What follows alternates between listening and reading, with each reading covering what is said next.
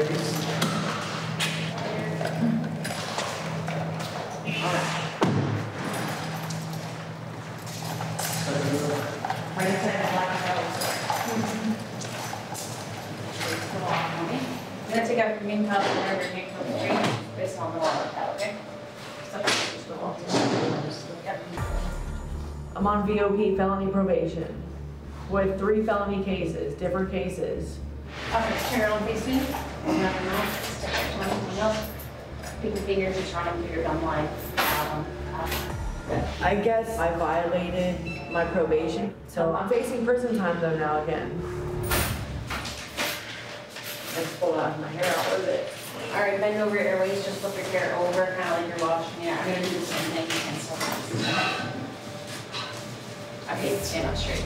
I know what this process entails, I've been through it. I'm just like, I'm just so shocked, I'm in shock. That's how it feels, shocking. All right, I'll take the right hand first.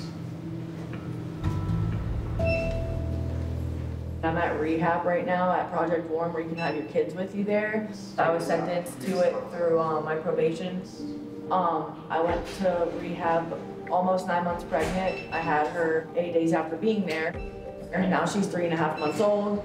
There's a daycare there and they called me to come get her because she had diarrhea.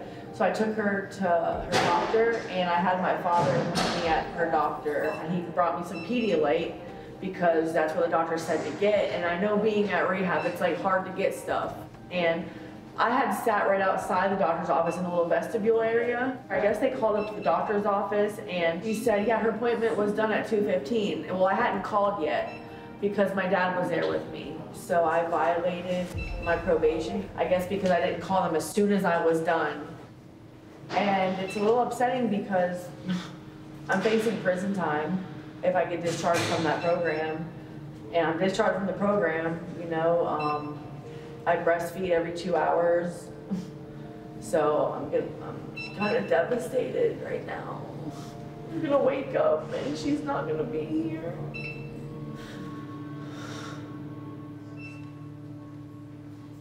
What were you in rehab for? Um, I had heroin and meth, but I've been working the program and I don't want to do that anymore. Turn your whole body to your right.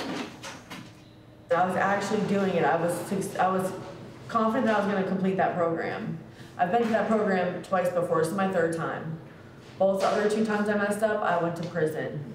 Whole body to your left. Those times I did drugs and I ran from the rehab. This time I didn't do any drugs. I didn't run. I didn't even leave my appointment and they think that I deviated from my appointment and I did not. My dad came up there. Good. I called the rehab for my ride from the doctors and they're like, you've been discharged. I'm like, what do you mean? Come pick me up. And my dad was still there with me and he took me back to the program. I'm like, oh my God. And they had, they packed up all my stuff within 10, 20 minutes. And the cops came and got me that quick. Uh, It hasn't really all hit me yet, honestly. Okay, round the corner to the right, first, second door, actually, second door that's open, yep. Do you know how long you'll be here today? I'm not going home. I don't have a bond.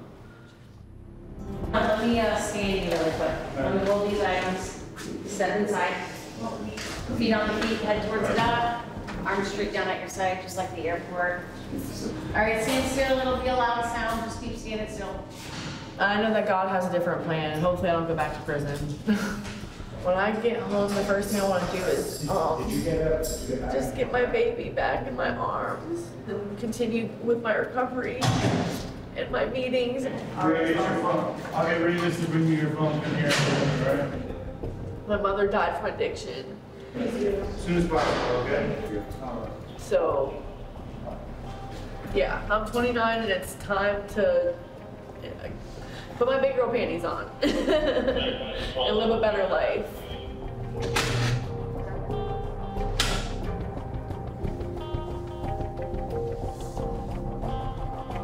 Maybe this will blow over quicker than I think, and I'll go right back to my baby and continue breastfeeding her. Right, gonna grab you some sheets and stuff, okay? But you never know.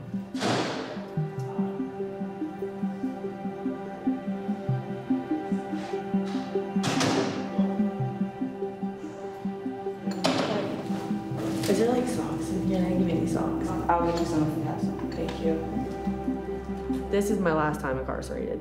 This is my last time. Say your prayer for me.